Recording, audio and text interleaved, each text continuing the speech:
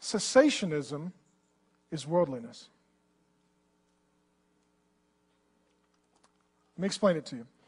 You've got Rene Descartes, cogito ergo sum. I think, therefore I am. In an effort to defend Christianity from some of its critics, he begins with his epistemological presupposition. Where will I start? I think, therefore I am. So the two founding, if, if, you look at this like a Jenga game, the first two pieces that get laid down in something called the Modernistic Enlightenment Project individualism and rationalism. I think. That's it. I'm an individual, and my mind, my brain, the three pounds of meat between my ears, that is the essence of what it means to possess the imago Dei, to be the image and likeness of God. Out of that, what invariably comes is the modern Enlightenment project, based upon individualism and rationalism. Now, uh, out of this comes as well skepticism. After a while, you start reading in the Bible Jesus walked on water? You start becoming skeptical of supernatural claims. So guys like William Barclay come along and say, well, maybe he was walking on the shore of the water, and it looked like he was walking on the water. We're trying to find ways to explain away what the Bible says plainly. Because it doesn't fit cleanly within a modernistic, rationalistic uh, paradigm of thinking. So, in that way, Christians start thinking more like Hume than C.S. Lewis. Right? Hume is really the modern rationalistic thinker who set in motion opposition to the supernatural, to the miraculous. So it starts with rationalism, individualism as part of modernism. This leads to skepticism, right?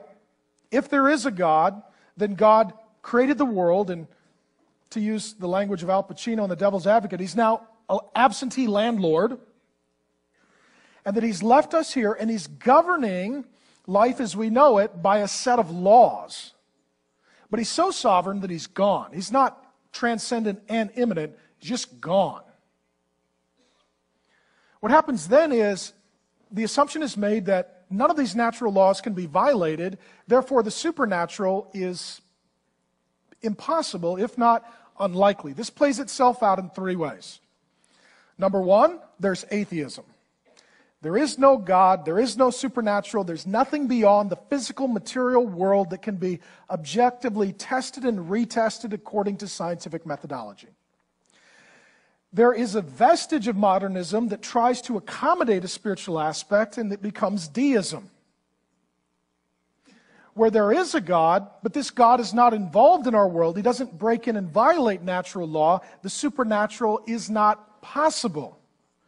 This is Thomas Jefferson, who sits down in the White House with a set of scissors and cuts all the miracles out of the Bible and publishes something called the Philosophy of Jesus Christ. This includes Unitarians. This includes very liberal, mainline, so called Christian denominations who are basically deists. There is a God, He's far away, He doesn't have anything to do with us, and the miracles can all be explained away. They're primitive, superstition, myth, misunderstanding. So it goes to atheism, deism, and this will be controversial cessationism. Now, you know why I haven't said this publicly. I'm not sure I have a helmet big enough to deal with it. I'm going to get battered a lot. But I believe the result of modernistic worldliness in Christian form is hard cessationism. And that is saying God could do a miracle, but he doesn't and he won't but he could. So, within that, God's not really speaking, God's not really working, and the supernatural gifts are not in operation. Healing, revelation, speaking in tongues, those kinds of things, they're over in the God used to box. Even though I was reading this book that said he was the same yesterday, today, and forever.